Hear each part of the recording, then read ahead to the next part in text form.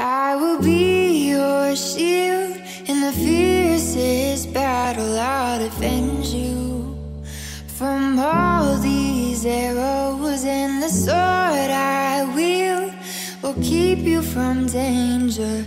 Let me be your shield. Yeah.